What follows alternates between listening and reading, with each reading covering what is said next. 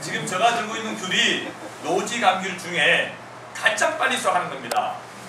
이 품종은 극조생인데도 조생인데 또 따라요. 극조생이라고 하는데 또 극조생 안에서 일남 2호 품종입니다.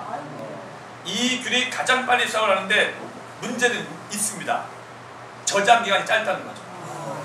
여러분들 아까 이렇게 오다 보니까 귤 옆에 달려있는 것들은 전부 다 조생감귤입니다. 조생귤.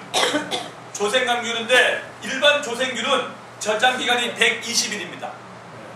120일 저장이 되는데 이 귤의 저장 기간은 20일밖에 안 돼요. 그래서 저장량이 짧다 보니까 이 귤은 대단히 면적을 많이 재배할 수가 없습니다.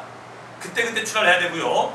저희 같은 경우에는 이걸 출하 목적이 아니라 저희 농장에 오시는 분에게 이거 시식용으로.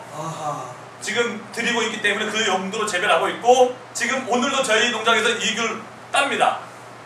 지금 따고 있는 걸로 드려볼 테니까요. 우리가 따드릴게. 고맙습니다. 저희 농장 여기가 이제 그 제주도 농민후계자 농장인데 이제 여러분들 시장이나 마트 가서 제주귤 먹다 보면 한 곳서 귤을 샀는데 먹어보면 좀 단 게 있고 신 게 있죠. 그렇지. 귤을 고르실 땐 여러분들은 제일 먼저 여길 보는 게 가장 좋아요. 왜? 꼭지 꼭지. 여러분들이 신경을 쓰는 이유가 이 귤 꼭지가 없거나 꼭지 색깔이 노랗게 변한 건 먹지 마시라는 겁니다. 귤 꼭지가 없다면 떨어진 겁니다. 낙과. 두 번째로 이 꼭지 색깔이 노랗게 변한 것들 있죠. 카바이트 약으로 익힌 겁니다. 그래서 여러분들은 귤을 고를 때 반드시 꼭지는 파란색입니다. 어떤 걸 보다 다 꼭지는 파란색이에요.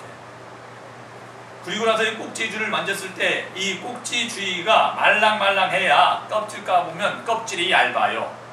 이게 똑같은 품종, 즉 일반 조생귤인데도 일조량이 좋아서 당도가 높은 겁니다. 알았수가? 그 말은 또 잘 배웠습니다.